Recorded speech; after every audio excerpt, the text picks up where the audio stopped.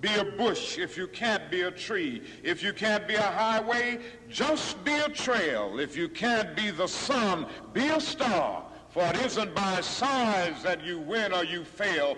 Be the best of whatever you are.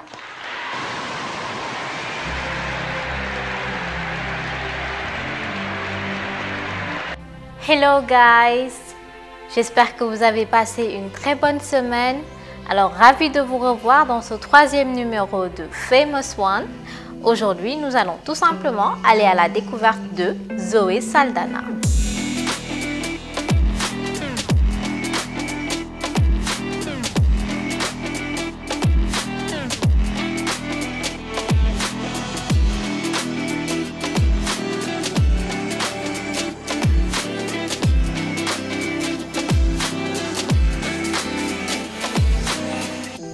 Alors, qui est Zoé Saldana? Zoé Saldana est née de parents issus de la République dominicaine ainsi que de Porto Rico. Elle a grandi à New York, dans le Queens, et à l'âge de 9 ans, son père est décédé dans un accident de voiture, ce qui l'a poussée à repartir avec sa mère et sa sœur vivre en République dominicaine. Alors, une fois là-bas, elle s'est inscrite dans une école de danse où elle a appris certains styles tels le ballet. À l'âge de 17 ans, elle revient aux États-Unis avec sa famille et intègre des groupes de théâtre, notamment Faces, ainsi que le New York Youth.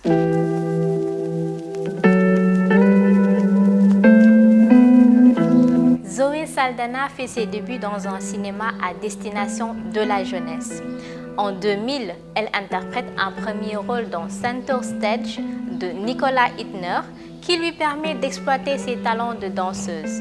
Ensuite, l'année suivante, elle interprète un rôle dans la comédie potache Get Over It d'un jeune Kirsten Dunst. Puis en 2002, elle interprète le rôle de la meilleure amie de Britney Spears dans son premier essai au cinéma Crossroads.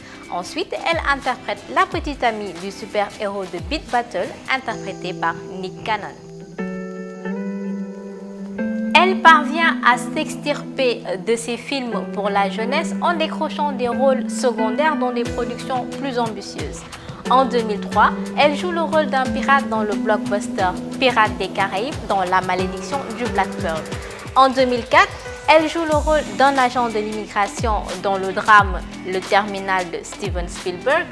Et dans la même année, elle retrouve Orlando Bloom dans le drame indépendant Heaven, qui cette fois, elle a comme principal partenaire.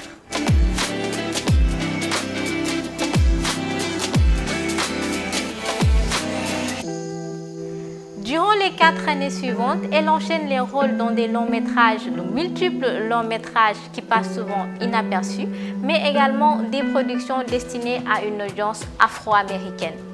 Seule concession plus commerciale, le remake de Black White où elle joue la compagne du héros Ashton Kutcher, qui lui a valu donc de faire partie des nominés lors des grandes remises de prix des cérémonies telles que les Teen Choice Awards ou encore les Black Reel Awards, mais encore les NNACP Image Awards. Elle rejoint le casting récurrent de l'éphémère série dramatique Six Degrees en 2006 et produite par J.J. Abrams, apparaissant au total dans 5 épisodes.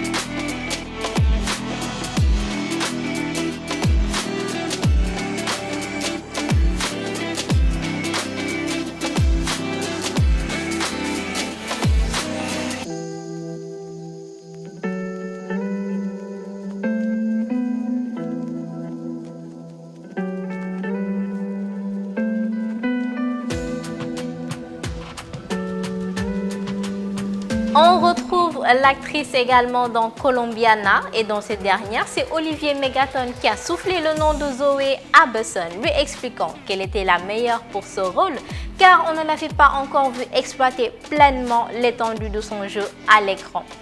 Et là, Olivier nous explique que Zoé n'est pas seulement belle, mais elle a du cœur et une volonté à toute épreuve.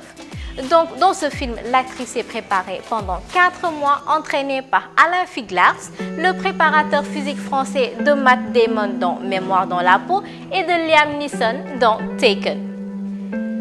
Zoé nous témoigne qu'elle était pour ce film hyper stressée, se demandant si elle allait avoir la capacité et l'endurance de porter tout un film sur ses petites épaules.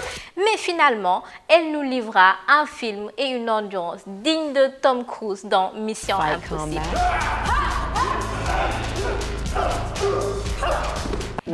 Il fallait bien cet entraînement quasi militaire pour encaisser un tournage mené à un rythme d'enfer de Chicago à la Nouvelle-Orléans en passant par Paris et les bidonvilles de Mexico. Ils avaient cependant oublié qu'ils se trouvaient dans l'épicentre des cartels où les gens n'avaient pas envie qu'on vienne les emmerder, se souvient Megaton. Tout le monde avait peur et les Américains on cherchait des gardes du corps qui, au final, n'ont servi à rien, sinon à aller chercher des cafés. Zoé nous raconte que lorsque le film fut terminé, elle avait l'impression qu'on lui rendait son corps, tellement elle était épuisée. Elle a dormi pendant un mois.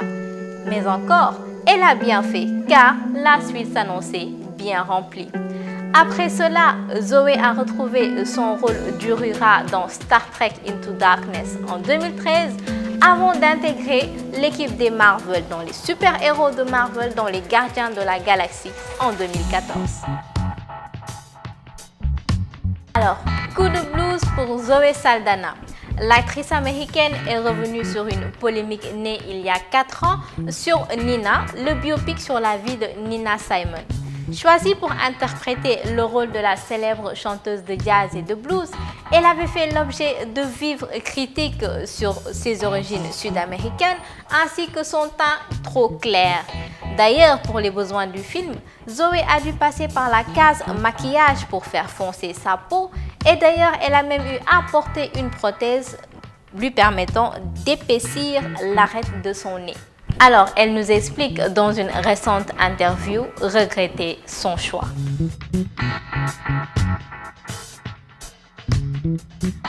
I should have never played Nina.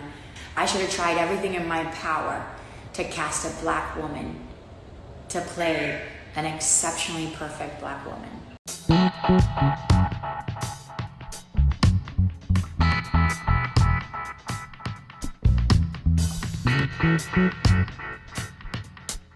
I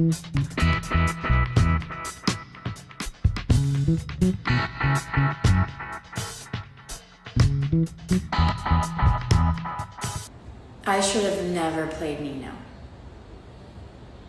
I should have never played Nina.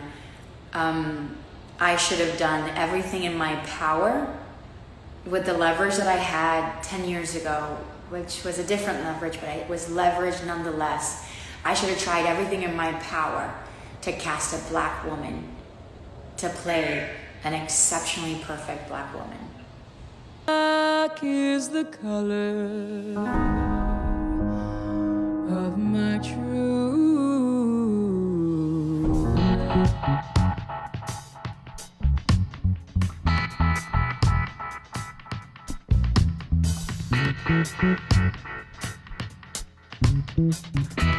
I thought back then that I I was I, I, I had I had the permission because I was a black woman.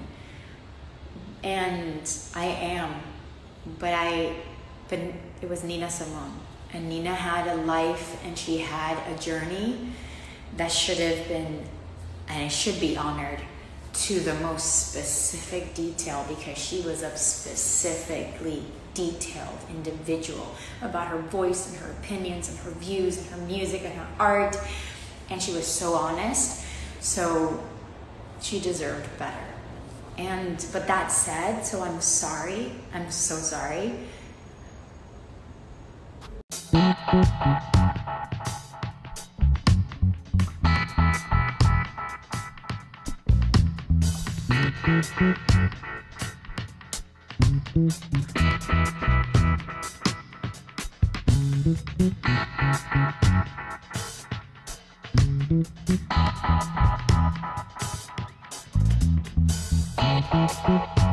Alors, c'était tout pour ce troisième numéro de Famous One.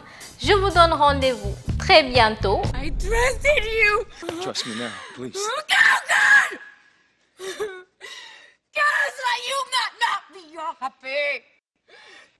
You will never be one of the people.